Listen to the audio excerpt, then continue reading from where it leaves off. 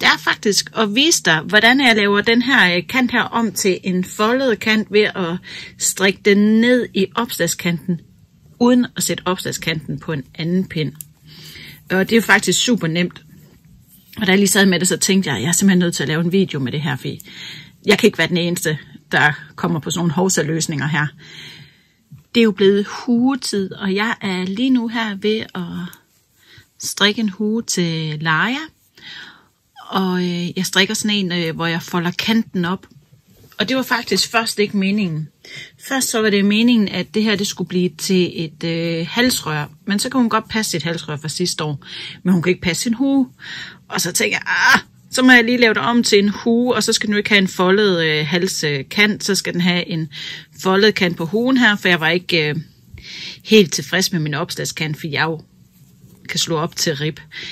Øh, det jeg så vil gøre, det er faktisk at vise dig, hvordan jeg laver den her øh, kant her om til en foldet kant ved at strikke den ned i opslagskanten, uden at sætte opslagskanten på en anden pind.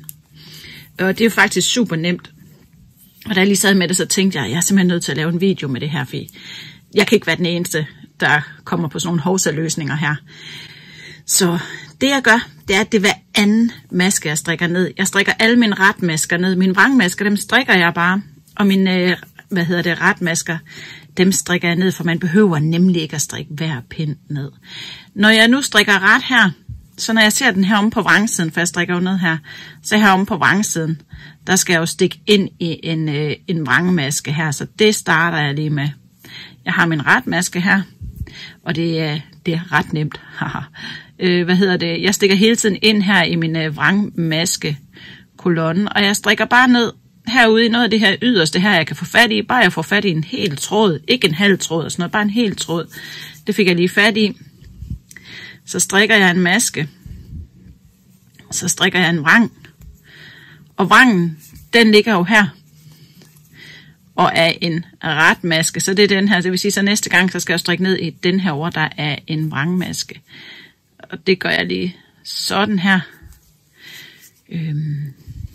Det her, det gør jeg oftere, end at sætte masker i hvil og alt muligt, fordi for mig, der er inde på vrangsiden, at det ser sådan her ud inde på vrangsiden.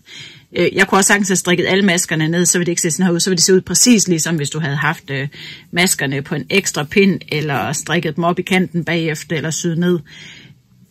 Jeg kan bare godt nogle gange godt lide, at den bliver lidt mere elastisk ved kun at strikke i hver anden maske her, så derfor så kan jeg faktisk rigtig godt lide den her metode her.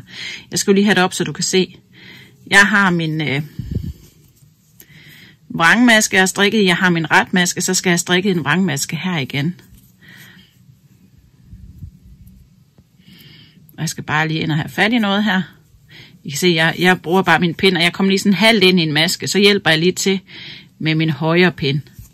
Sådan der. Godt. Og strikker en vrang. Jeg viser lige en til. Og jeg hiver ud i det, så jeg kan se, at øh, herover den her maske her, den har jeg strikket sammen. Det er min retmaske, det er min vrangmaske. Det er altså den her, jeg skal have fat i nu. Og det, man skal være lidt påpasselig med det her, for ellers så kan det godt blive øh, skævt. Så det er en god idé lige at tjekke efter en gang imellem. Sådan her. Og så fortsætter jeg bare sådan her omgang rundt, indtil alle masker er strikket.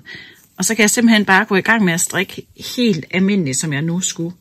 Og det her, det bliver så en hue med en foldet kant til et barn. Og det er jo den her kant her, der bliver foldet op. Det synes jeg jo selv bliver ret lækkert.